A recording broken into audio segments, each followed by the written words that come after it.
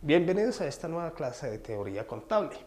El tema que vamos a ver son las tendencias de investigación contable en Colombia.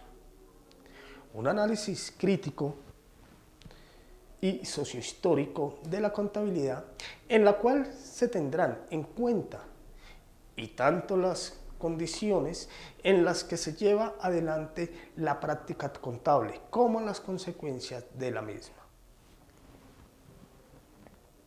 Existen diferentes programas de investigación. Según Cañibaño y Angulo, está el programa legalista, el otro económico y el último formalizado. El, el programa legalista nace de la necesidad de regular la contabilidad a través de códigos de comercio, leyes y principios generalmente aceptados o de estándares internacionales.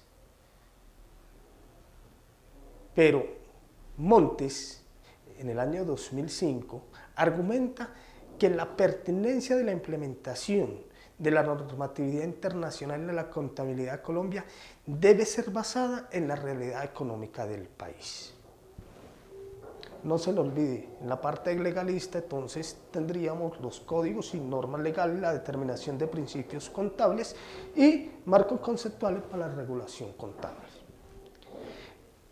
La otra, que es en la parte económica, dice lo siguiente, que nace de la necesidad de obtener información de la organización tal y como es la teoría de la contabilidad.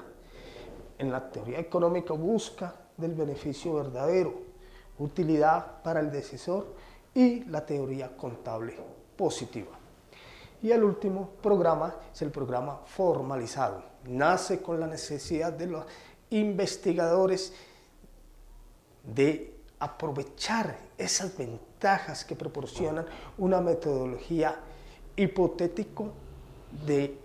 hipotético-deductiva.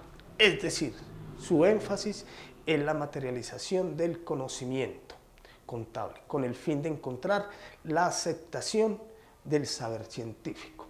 En la teoría formalizada tendremos en cuenta la axiomatización de la contabilidad, análisis circulatorio, la teoría de la agencia y la economía de la información.